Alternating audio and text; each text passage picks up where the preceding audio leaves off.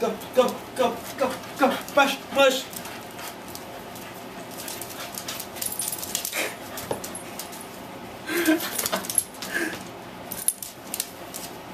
you will do the count.